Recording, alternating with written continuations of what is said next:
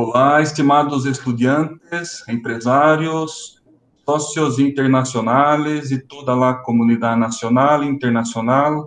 Les damos la bienvenida a nuestro séptimo Congreso Internacional del Grupo UNIS, cuyo tema principal es empoderar la gente para transformar realidades. Para esta presentación, contamos com a participação do Dr. Juan Carlos Arroyo, que apresentará sobre a inovação da educação superior em um contexto de colaboração internacional. Dr. Juan Carlos é doutor em Ciências da Educação, Magister em Gerência e Gestão Empresarial, licenciado em Administração de Empresas é maestro normalista em la especialidade de matemática. Actualmente é vice-reitor de Desarrollo e Inovação Institucional da Universidade de Ciências Administrativas e Tecnológicas de Bolívia. Também contamos com a participação de nosso estimado professor Alex Donizete, que moderará a apresentação. Professor Alex é Master em Gestão Pública e Sociedade, especialista em ensinança da língua inglesa, licenciado em Administração e licenciado em Literatura com Espanhol e Inglês. Trabalha como professor universitário em el Grupo UNIS, professor de inglês em el Sistema Educativo Estatal de Minas Gerais e como gestor de processos em uma empresa privada. Dr. Juan Carlos Arroyo, muchas gracias por su participación y ahora es con usted. Muchas gracias. Primero, eh, es un honor participar en este séptimo Congreso Internacional de la UNI y reciban los saludos de la Universidad UCATEC de Bolivia, que está ubicado en el en el corazón de Sudamérica. Es un cariño muy especial que tenemos con la Universidad UNIS, con sus estudiantes, profesores, empresarios y todo el público que está viendo esta palestra. Bueno, la temática es bastante sugerente e importante. Hablar de la educación superior en un contexto de colaboración internacional. Es muy importante hablar en estos tiempos en que la educación superior y la educación a todo nivel no es la misma. Cambió bastante. Cambió porque antes del COVID-2019 la educación era presencial y de repente con algún soporte virtual y las clases eran interactivas donde había un escenario como son las aulas universitarias donde los estudiantes tenían la interacción permanente y así nuestros estudiantes se formaban disciplinarmente. Pero ocurrió algo. Ocurrió que desde el inicio de la pandemia existió una disrupción educativa, un shock paradigmático, porque las clases no podían continuar, porque existía una crisis social global a nivel mundial, donde las universidades, las escuelas eh, eh, públicas, privadas de nivel primario y secundario entraron en este shock paradigmático. Y muchas instituciones en el inicio de la pandemia no se habían actualizado, no se habían innovado como instituciones educativas. Y ahí entró la gran crisis social global en el campo de la educación. Había que hacer algo, había que a partir de este shock reinventarse como instituciones educativas, porque la suspensión de clases presenciales llevó a esto. Fundamentalmente en mi país, el mes de marzo del año 2020 ocurrió ese shock. Un día viernes las clases se suspendieron y el lunes los estudiantes necesitaban pasar clases.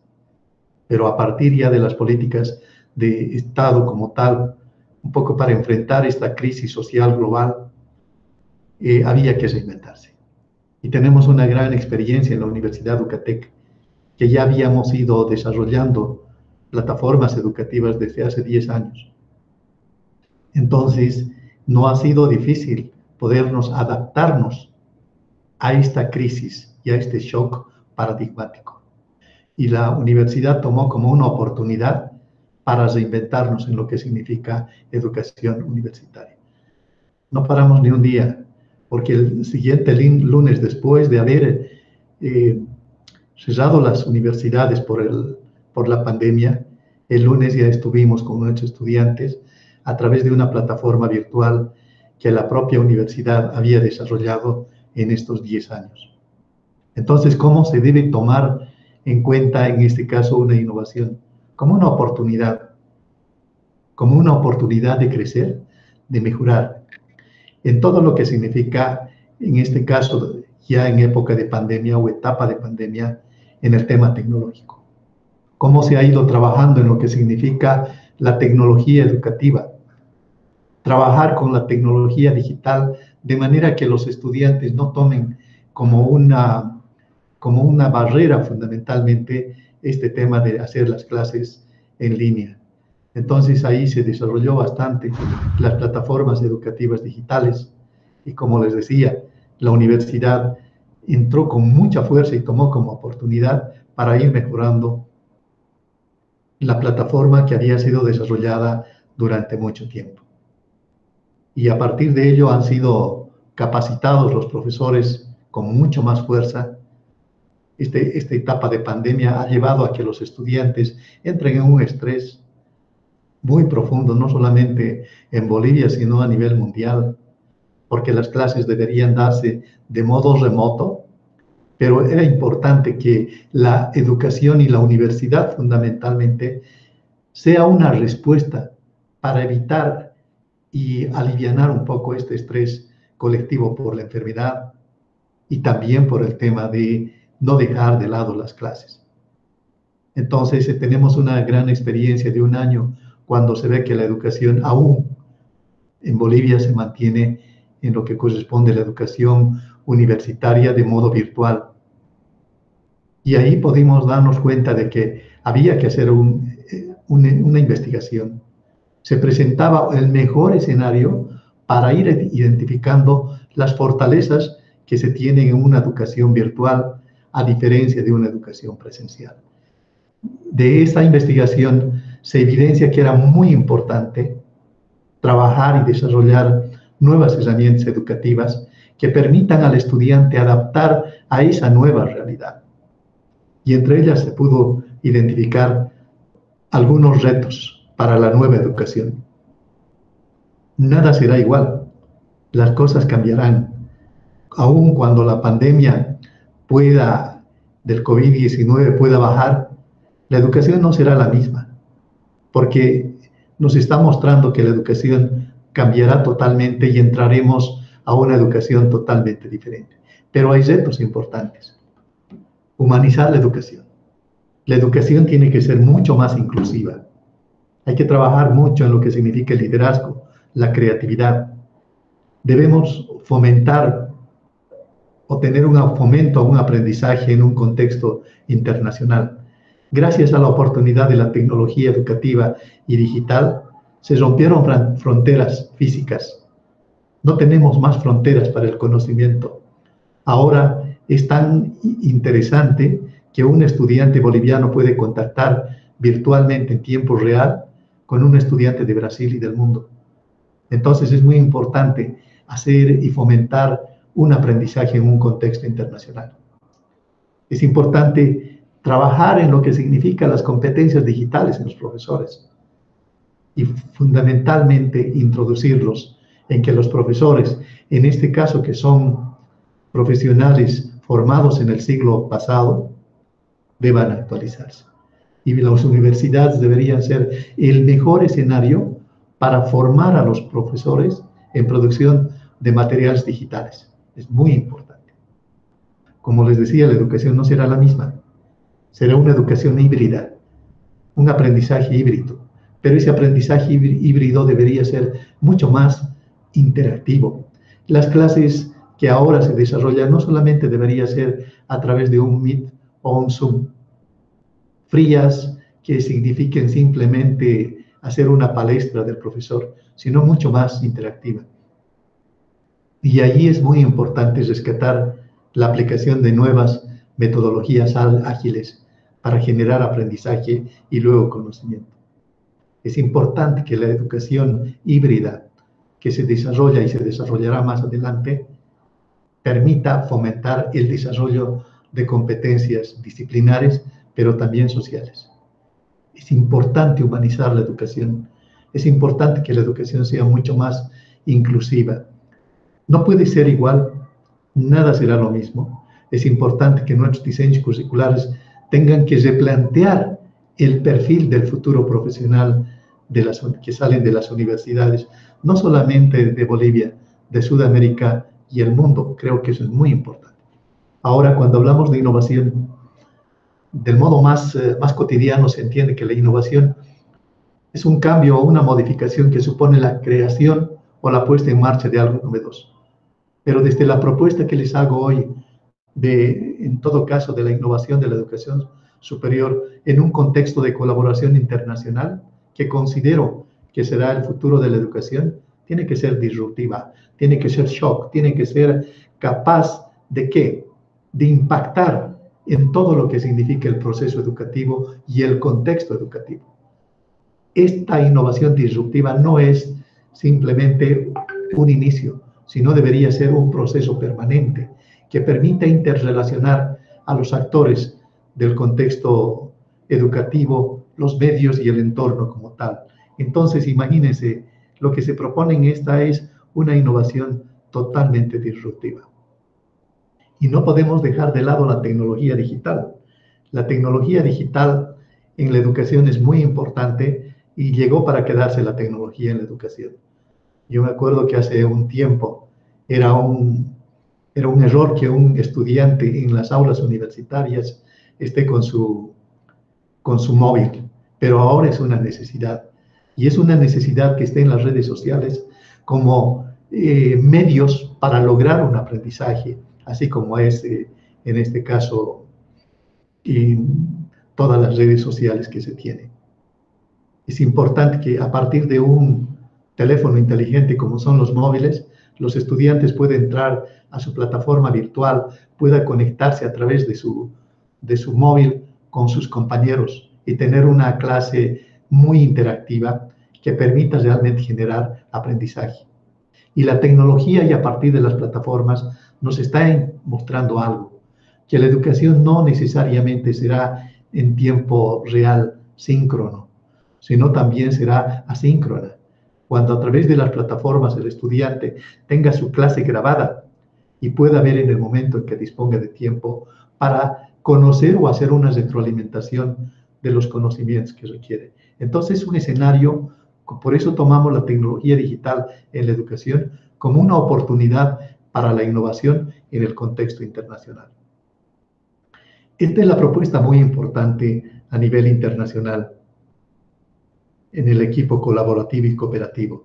Hacer redes de aprendizaje, redes de universidad. Y el claro ejemplo que tenemos en este momento es que la red ACINET se adelantó cuatro o cinco años ya en lo que significa conformar una red. Pero esta red hay que fortaleciendo y lo que se trata en esto es de lograr comunidades virtuales de aprendizaje a nivel mundial. Con una, con una característica importante, que estas redes cooperativas como comunidades virtuales de aprendizaje sean inclusivas, sean interculturales. Creo que este es un tema bastante importante hablar de la interculturalidad. Al romper fronteras y al cesar las brechas del conocimiento, deben permitirnos fundamentalmente conocer la cultura del otro y fundamentalmente el respeto al otro, desde el tema cultural. Requerimos de que esta educación y estas redes de colaboración sean creativas y al mismo tiempo sean emprendedoras. Una innovación para el desarrollo profesional creo que es muy importante, el emprendimiento. Se hacen redes cooperativas entre estudiantes y al mismo tiempo redes que generen conocimiento. ¿Cuál es el objetivo que se persigue con todas estas comunidades virtuales a través de redes de aprendizaje? Primero, entre universidades exista transferencia de tecnología educativa. Trabajar con equipos colaborativos de estudiantes, equipos colaborativos e institucionales que nos permitan avanzar. Y la experiencia que tenemos en este momento en lo que significa eh, la colaboración internacional, tenemos a través de la red ACINET la internacionalización de la educación. Qué importante con esta experiencia que nosotros tenemos es de que hemos podido recibir estudiantes de Brasil, de Argentina, de Paraguay, de otros países, para realmente internacionalizar la educación. Primero, para la parte cultural. Segundo, para conocer nuevas sociedades. Es una necesidad el intercambio internacional de estudiantes, intercambio internacional de docentes que permitan conocer otros contextos en lo que significa la educación superior, intercambio de directivos.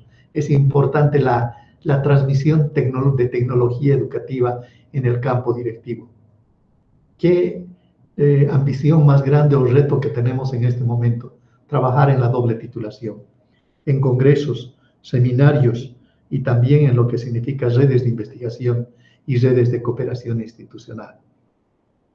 Y lo que se propone es algo que es muy importante a nivel internacional, es hablar de un aprendizaje colaborativo internacional, en red. Eso es lo que necesitamos.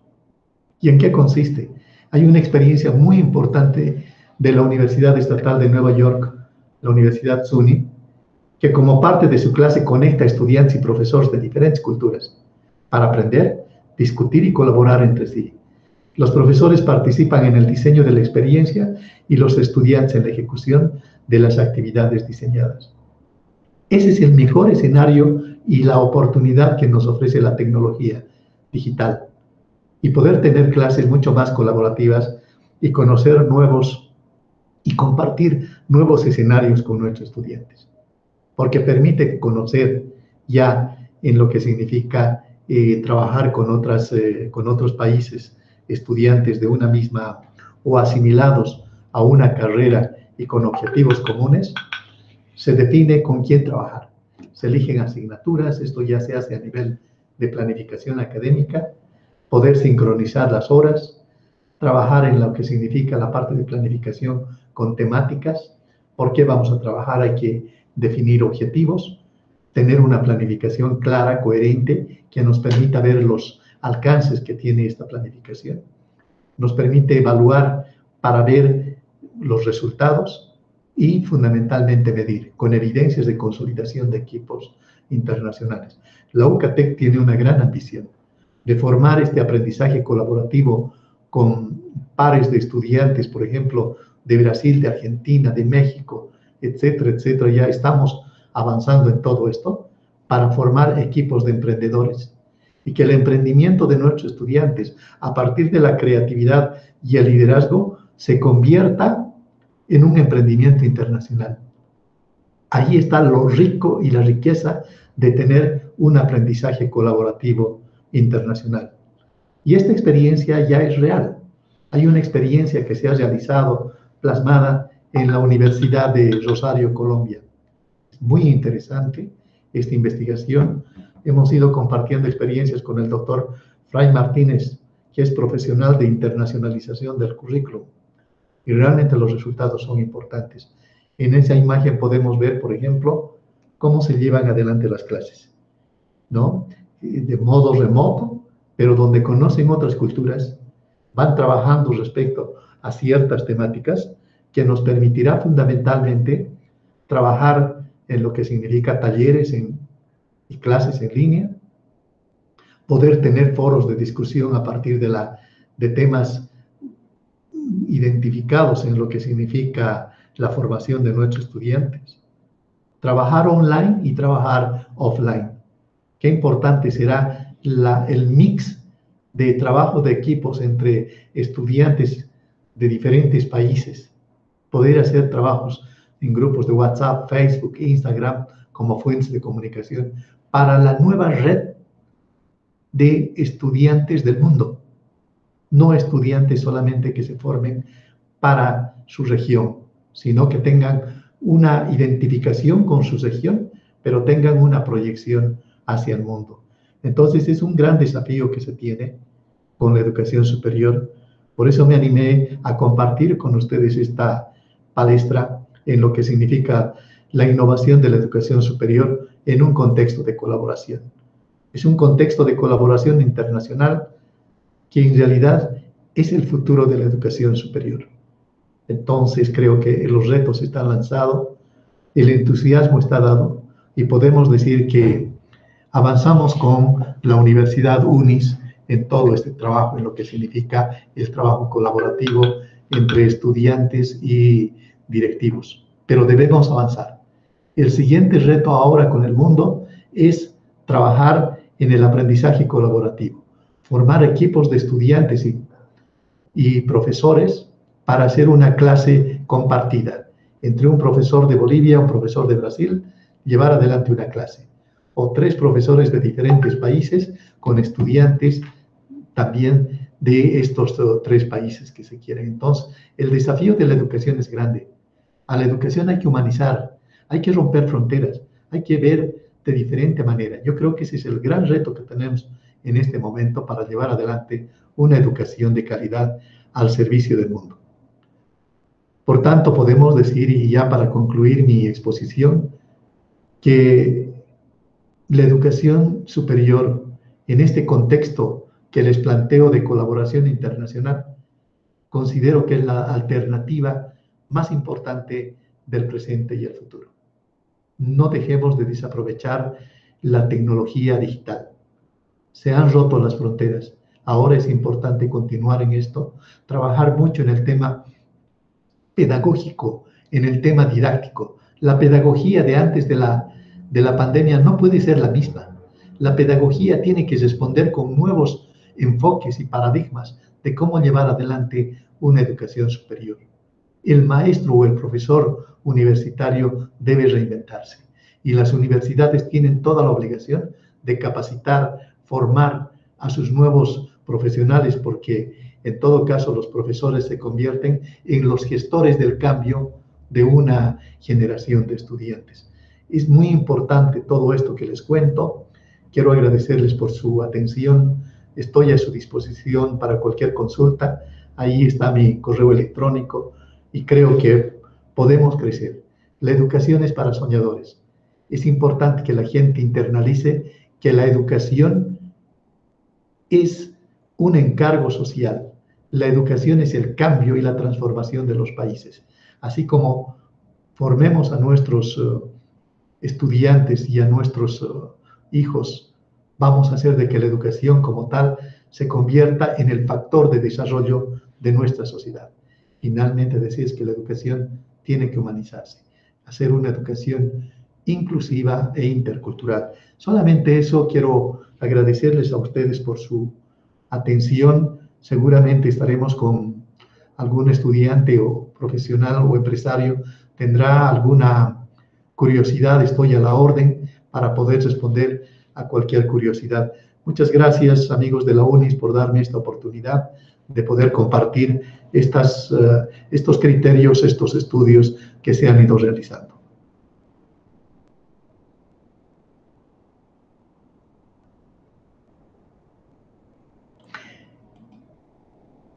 Estoy a la orden para cualquier consulta. Adelante, por favor. Profesor Juan Carlos, uh, primeramente, me, es un placer, un honor participar de su charla con palabras tan sabias eh, en un contexto pandémico que vivimos hoy. Eh, do, durante su, la charla, yo pude anotar alguns pontos que a mim me parece muito importante e gostaria de comentar contigo. O primeiro ponto sobre a cultura. Como é importante conhecer a cultura de todos os países e eu tenho para mim que não há uma cultura melhor do que outra, há culturas. Todas são importantes para as pessoas que la têm. Então, promover uma interação cultural es esencial y, yo concuerdo mucho con su, con su charla cuando dije eso. Es, estoy muy de acuerdo con ese punto. Un otro punto que anoté acá es que los alumnos se tornan actores de la su aprendizaje. Isso é um conceito muito amplo que se habla, se ha hablado há muito tempo no mundo, pero agora com a situação pandêmica se tornou muito, muito mais realístico e as pessoas, os alunos, há que procurar uma forma de se buscar o conhecimento utilizando as ferramentas que há disponíveis devido à situação de distanciamento que, que temos hoje. Então, a, a mim me parece perfeito esse ponto que o senhor uh, nos trouxe hoje em sua charla. Outro ponto que a mim me gusta muito falar é a situação colaborativa. Entramos em um novo eh, prospecto do mundo, um mundo de colaboração.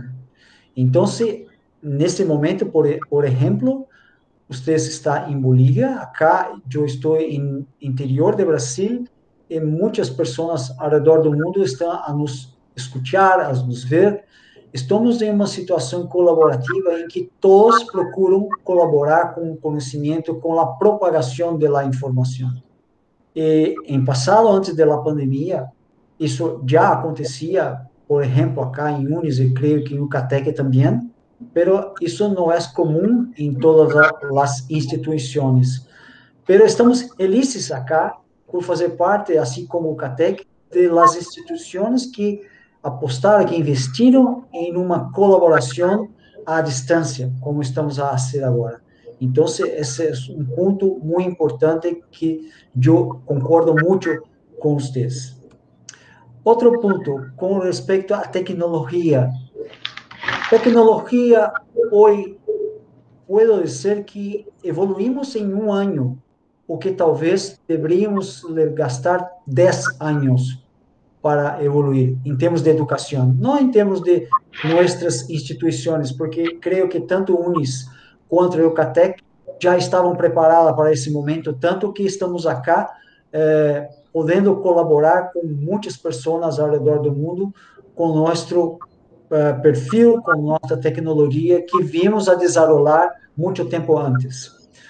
Pero agora as pessoas foram de alguma forma for, forçadas a aprender o uso da tecnologia para se comunicar, uma vez que não se pode estar uh, presente, presente em nos lugares. Então, a tecnologia não, eu diria, não a tecnologia evoluiu, pelo uso da tecnologia.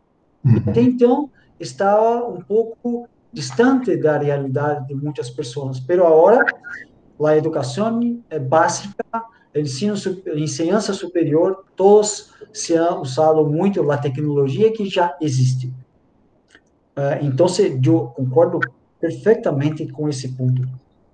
Outra questão que anotei acá com relação ao respeito, do respeito que as pessoas devem umas às outras. E isso agora me parece muito, muito mais afloradas, uma vez que as pessoas entenderam que somente através de colaboração vamos conseguir superar a pandemia.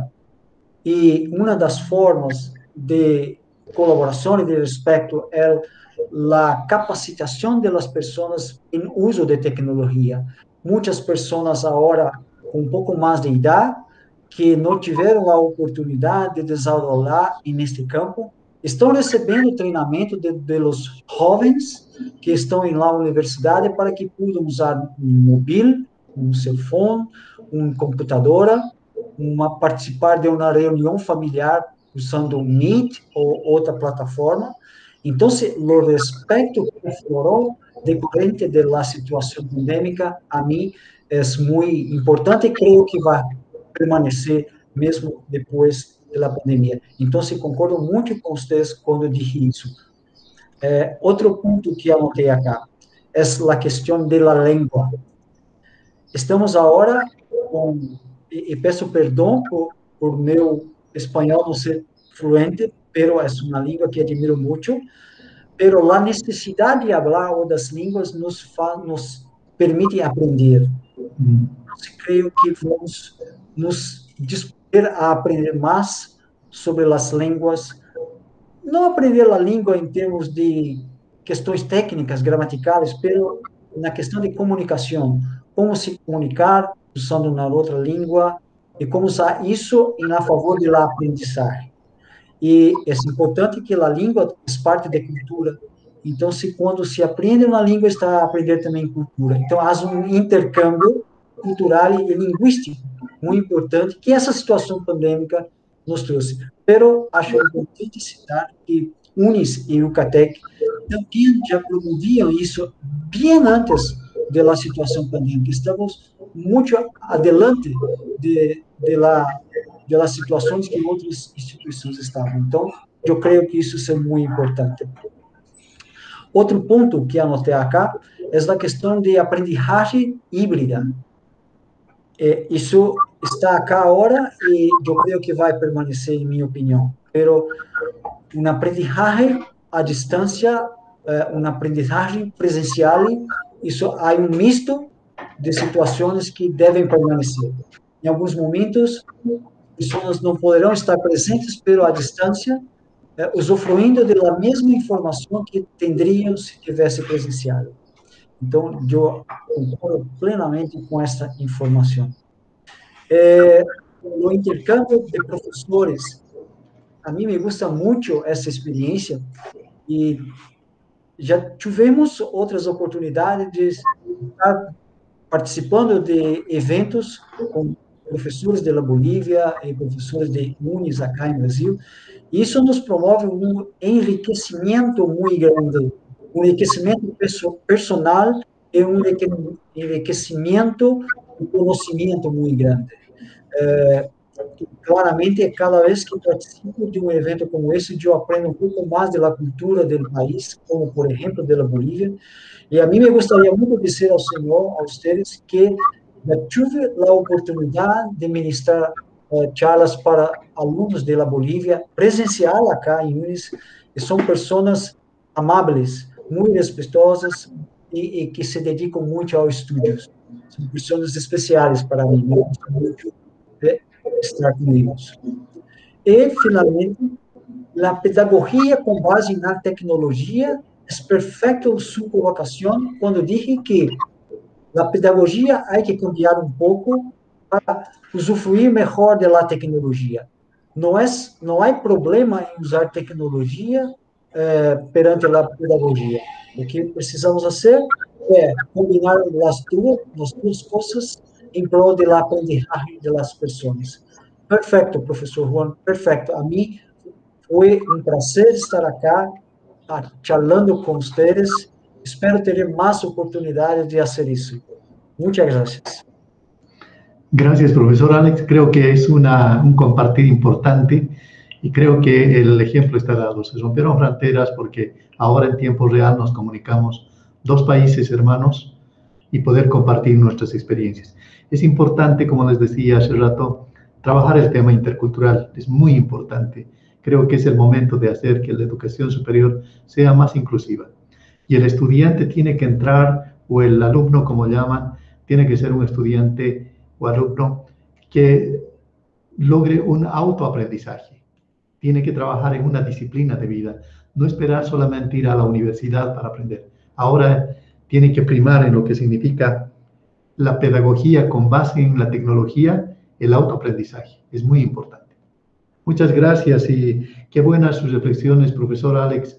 Yo tomo para bien todo porque en realidad eso es lo que queremos. Creo que estamos en un nuevo escenario de poder replantear políticas educativas como país, escenarios importantes para nuevos aprendizajes y creo que este espacio que ofrece la UNIS a partir de su séptimo Congreso Internacional nos permite crecer y nos permite conocer también las posiciones que tiene cada país a partir de las investigaciones que se realizan.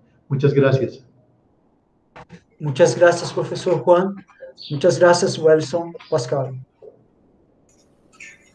Ah, muchas gracias a ustedes, ah, doctor Juan Carlos Arroyo, muchas gracias por compartir con nosotros su rica presentación con este tema tan importante efectivamente a educação está cambiando, o mundo está cambiando e nós incluídos los estudiantes, necesitamos adaptarnos para ser parte del cambio y lograr el éxito en nuestra trayectoria académica y profesional. Profesor Alex, muchas gracias por su participación, por, vuestros, por vuestras consideraciones. Para todos los participantes, pondremos en la descripción de este vídeo un link para la validación de su participación en esta charla. Por favor, para tener acceso a su certificado es necesario completarlo con sus datos. A todos, muchas gracias por vuestra participación. Deseamos a todos un excelente congreso. Muchas gracias, muchas gracias nuevamente, profesor Juan Carlos. Muchas gracias, Pascual. Hasta luego. Muchas gracias. Estoy a la orden para cualquier cosa, profesor Alex, profesor Wellington, y poder contactarnos y poder eh, fundamentalmente compartir mucho más experiencia. Que tengan un buen día. Hasta luego. Hasta luego. Hasta luego. Hasta luego.